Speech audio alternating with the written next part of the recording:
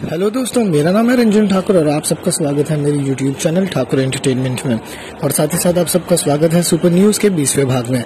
So friends अब आपका ज़्यादा टाइम बर्बाद ना करते हुए इस वीडियो को शुरू करते हैं, बस एक छोटे से इंट्रो के बाद.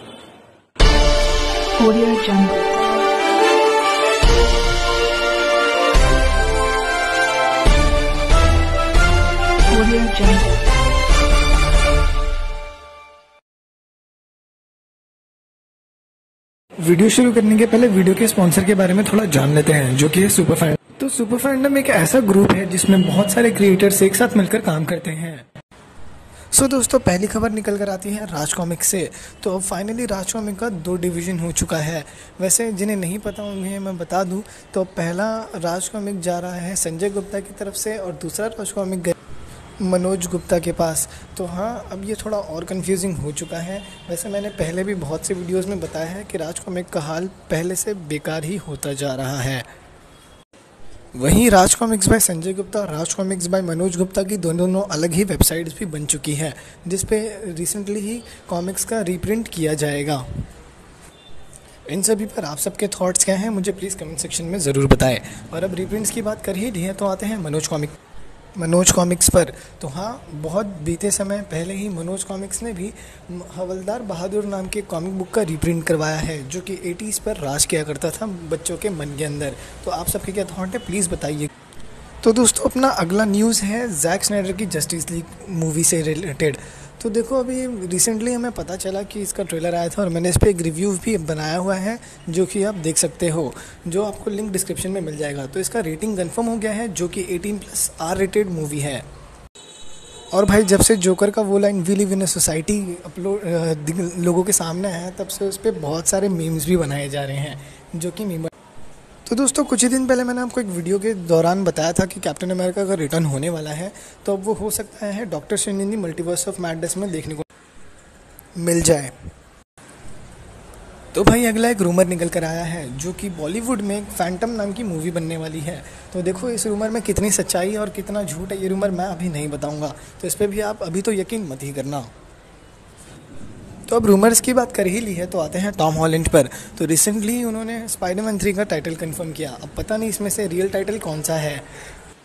दोस्तों, अब बढ़ते हैं वोंडा विजन पर, जो कि डिज्नी प्लस पे सबसे ज़्यादा सर्च किए जाने वाला शो बन चुका है मार्वल स्टूडियोज़ का। तो बहुत से रूमर्स थे कि इसमें मेफिस्टो नाम का एक डेविल विलन देखने को मिलने वाला है, जो कि अभी तक तो कंफर्म नहीं हुआ है। और देखते हैं आने वाले एपिसोड्स में इस पर क्या रिव्यू देखते हैं। वैसे बहुत से फैंस का मानना भी यही है कि इस शो में हम लोग को मेफिस्टो विलन देखने को मिलेगा ही, क्योंकि बहुत टाइम से ये रूमर आ रहे हैं कि एमसीयू में मेफिस्टो की एंट्री होने वाली है। और कॉमिक बुक्स में अगर आपको नोटिस किया होगा तो उसका फ़र्स्ट अपीरियंस एक बी के रूप में हुआ था, जो कि हमें लास्ट एपिसोड में ऑलरेडी देखने को मिल गया है। तो भाई, जैसा कि राज कॉमिक्स बहुत टाइम से नागराज की मूवी बनाने को लेके बॉलीवुड पर सारे डायरेक्टर्स पर फोर्स कर रहे थे तो वहीं इंटरनेट पे फैंस ने एक फ़ैन आर्ट रिलीज़ किया, जिसमें हमें नील नितिन मुकेश एज नागराज देखने को मिले। इस पर आपके क्या थॉट्स हैं? बताना ज़रूर। तो भाई, हाल ही में ही कंफर्म कर दिया गया कि थॉर फोर में हमें म्योर ने रिटर्न होता हुआ दिखेगा, और ये खबर किसी और ने नहीं, बल्कि क्रिस हेम्सवर्थ के बॉडी डबल ने अब बढ़ते हैं मूवी ब्लैक विडो पर।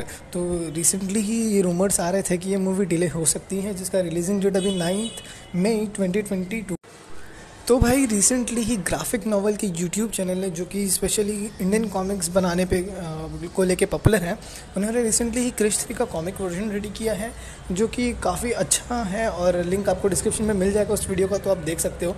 तो रिसेंटली इंटरव्यू आया था कि क्रिश थ्री का प्रमोशन के टाइम से, कि ऋतिक रोशन ने कहा था, शक्तिमान आज भी इंडिया का सुपर हीरो है। तो वहीं आने वाले टाइम पे हमें क्रिश फोर और फाइव ही देखने को मिलने वाली है, जो कि मेरे अकॉर्डिंग आने वाले इसका फोर्थ पार्ट 2024 में और शायद फिफ्थ पार्ट 2026 में भाई, वहीं पर सोनी सब वालों ने हीरो नाम का शो रिलीज़ किया है, जो कि काफ़ी अच्छा है, काफ़ी अच्छा है। और इसमें अभी फाइनली विलन रिवील होने वाला है जो देखते हैं। तो यार, देखो, काफ़ी टाइम पहले से ये रूमर आ रहा था कि क्रेविन पर एक मूवी बनने वाली है, जो कि सोनी स्टूडियोज़ ही बना रहा है। और अब फाइनली एक रूमर बहुत ही ज़्यादा तगड़ी निकल कर आई है कि कियानो रीव्स इस मूवी में क्रेविन का रोल कर सकते हैं। अब ये सोनी पिक्चर्स वालों ने बताया था कि उनको कन्फर्मेशन दे दी गई है। तो भाई देखते हैं आने वाले टाइम पर क्या सच होता है और क्या झूठ। तो मैं तो बहुत ज़्यादा एक्साइटेड हूँ उस मूवी के लिए। आप कितने एक्साइटेड हो? कमेंट सेक्शन में बताना। तो हाँ भाई, इस क्वेश्चन का आंसर मैं इस वीडियो में ही दे देता हूँ, जो कि मेरे को इंस्टाग्राम पे काफ़ी बार पूछा गया है कि H B O Max India में कैसे रिलीज़ होगा। तो देखो एच बी ओ मैक्स नहीं इंडिया में H B O go release होगा, जिस पर हमें जैक स्नाइडर का जस्टिस देखने को मिलेगा। तो रिसेंटली मुकेश खन्ना के यूट्यूब चैनल यानी कि भीष्म इंटरनेशनल पर दी मुकेश खन्ना शो के एक एपिसोड में उन्होंने एक पुराने एक्टर को लेकर आए हैं, जो कि ऑलरेडी प्ले कर चुके हैं जैकॉल तो भाई पर्सनली इस टॉपिक पे तो मैं एक डिटेल वीडियो बनाना चाहता हूँ, लेकिन वो डिपेंड करेगा इस वीडियो के रिस्पॉन्स पर। अगर आपको वीडियो चाहिए तो कमेंट सेक्शन में ज़रूर बताइएगा।